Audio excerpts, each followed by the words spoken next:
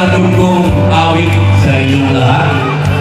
Sapagkat ako ko'y uh, I'm feeling wonderful tonight. Una po sa lahat, magbigay po ganyan po ako sa ating Panginoong na Likha. Audo billahi minashaitan rajim, bismillahirrahmanirrahim. Alhamdulillah, Rabbil Alamin. Bismillahirrahmanirrahim. Wassalatu wassalamu ala Rasulillah. Assalamualaikum warahmatullahi Pagbati po ng kapayapaan at pagpapala ng Panginoong Diyos sa inyong lahat.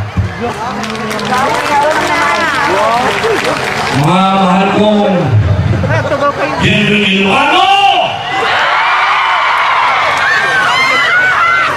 Isa pong kaligayahan para sa akin ang nandito sa inyong harapan. Ako po'y nagkaroon na ng ilang minuto sa aking pagkanta. Pinagtiisan niyo po yung boses ko. Maraming salamat po. Ako po'y nagpapasalamat Unang-una, kay Apo Bongbong Marcos. Pangalawa po, sa anak ng aking pinuno, na akin pong binigay ang aking anim na taon ng buhay ko, Miss Sara Duterte.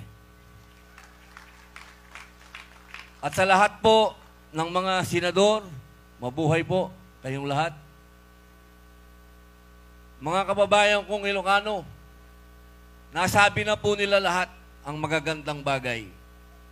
At yun po ay susundan ko kung ako'y papalarin.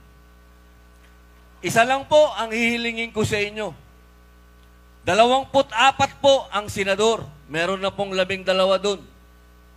Ang kasab kalungkutan lang po dyan, wala pong isang Muslim. Nandito po, sa kaliwa ko, marami pong mga Muslim dito. Gusto ko pong malaman po ninyo, sa populasyon ng Pilipinas, labing limang porsyento po dyan ang Muslim. Ngunit nakakalungkot po, magmula po nung 1995, wala na pong naging Muslim na senador.